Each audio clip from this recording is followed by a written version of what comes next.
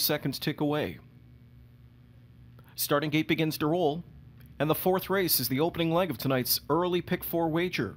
Field moving in and lining up. It's post time.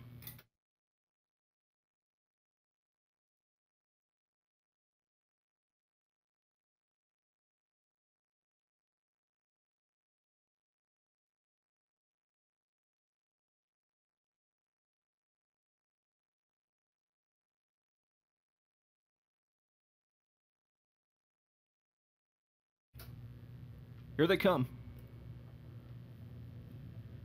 They're often pacing, and Major Hottie, as expected, with something to say about the early speed. The Peninsula Hotel is going to drive out fast and go with them. High Beta Blue Chip attends the pace from third.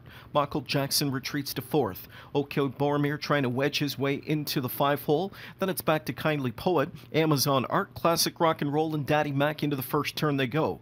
So with the early lead for Randy Waples, the Peninsula Hotel, as he outsprinted Major Hottie to the quarter in 27 and 2 fifths seconds. They head towards the tunnel and then the backstretch, the Peninsula Hotel in charge of the tempo, leading it by just over a length. Major Hottie pocket sits, then back in third is High Beta Blue Chip. Major Hottie is on the attack now for Chris Christoforou, who opts to tip out and roll, and Major Hottie's up to take over command.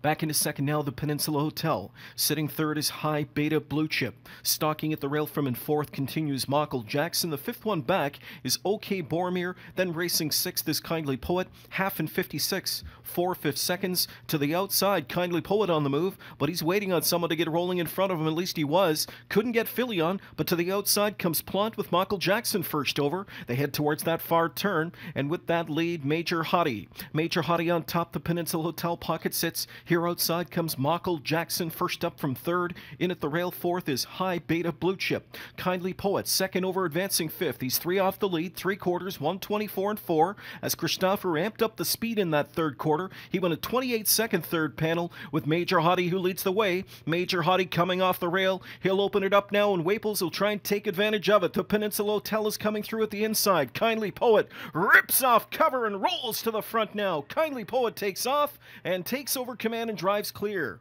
It's going to be Kindly Poet to win going away. Coming on for second classic rock and roll, the Peninsula Hotel was third in 152 and 3.